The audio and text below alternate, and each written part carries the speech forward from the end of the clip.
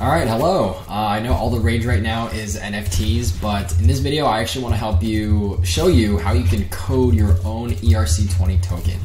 And you've probably seen a bunch of uh, meme coins out there. So if we go on Coin CoinMarketCap, uh, you know, a funny thing lately is that Shiba token, Dogecoin, and Shiba Inu. These are both, uh, you know, top 15 tokens. Uh, but Shiba Inu is an ERC20 token. And what it means to be an ERC20 token is that it is a cryptocurrency that lives on the Ethereum blockchain that conforms to the ERC20 standard.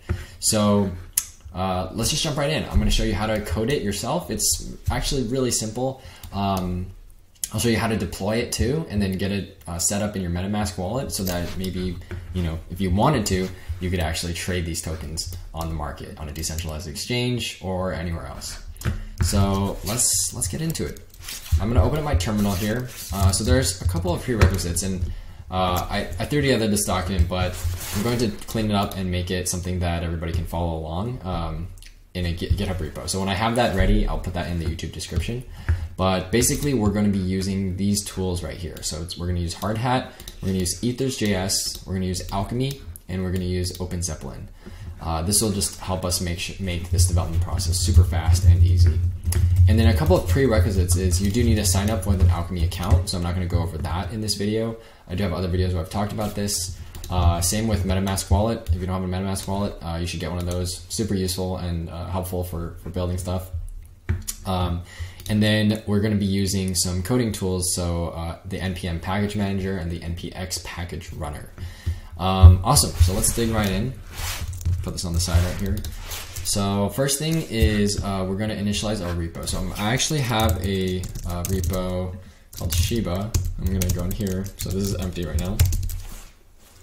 Uh, and then first things first, I'm going to initialize a, uh, the npm package for this uh, for this project, and then we're going to install Hardhat. Let's just do that.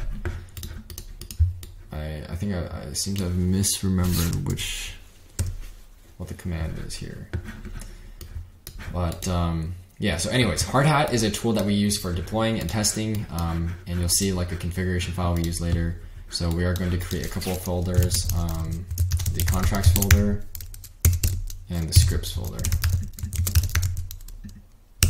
And then we do want to git ignore, so let's add a git ignore so that way, um, when we initialize our Git project, we ensure that we are ignoring these two things, the env file and the node modules. We don't need to be sending these to the, um, the Git repository. Okay, awesome. So at this point, your folder should look something like this, contracts, package.json, node modules, scripts, package.json. Great. Okay, uh, so the next thing is we're gonna install OpenZeppelin. So this is the command to uh, get a bunch of contracts that they've implemented for free. So we're gonna install that. And then uh, we are also going to, I'm just gonna start opening up my um, VS Code.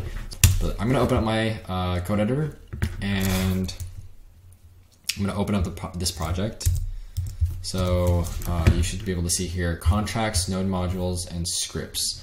Node modules will probably have a bunch of stuff at this point because it has all of our dependencies that we've installed. Um, and then in contracts, we're going to create a new file called shiba inu.sol. And this is where we're going to start writing our Solidity smart contract code. So uh, our code will actually look like this. It's super straightforward.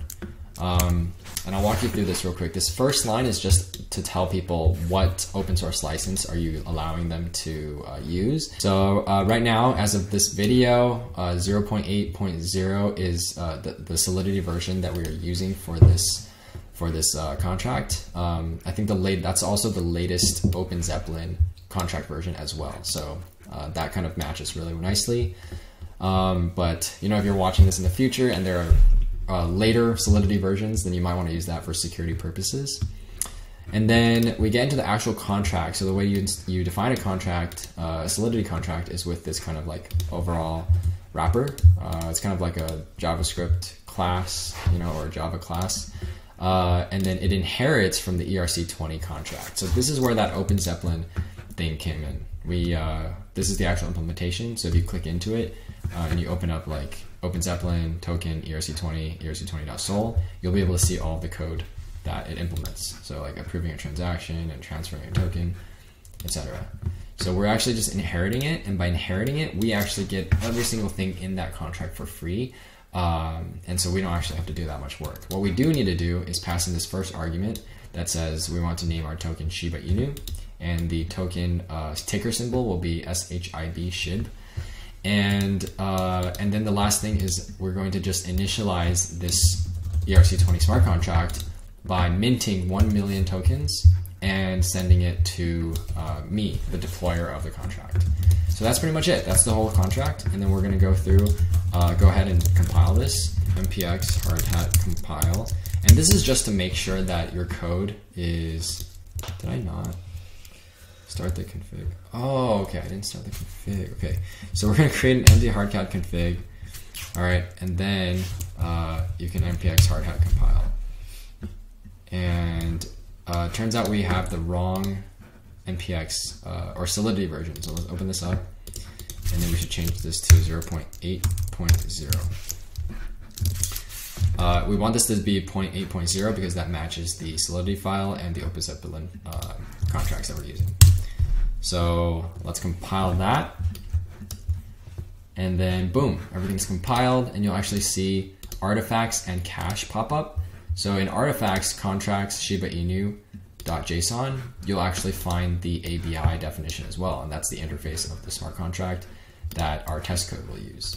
So um, let's go back here. The next thing is a deploy script. So I'm gonna copy all of that and it looks really long, but I promise you it's actually not that complicated. We're just gonna go into the, the scripts folder and create a deploy.js file. You can name it whatever you want, but that's just like a very intuitive name for me, so that makes sense. Um, let me make my face smaller. And so you can see in here, there's a lot of commenting, and it's really just so that when we're deploying and we're testing locally or on staging, you can see what's going on. But the actual logic for deploying is really short. Uh, really, what we're doing is we're getting some signers using ethers.js, and um, this is actually something we're going to have to install. So ethers. There we go. So this command I actually need to show you here. Um,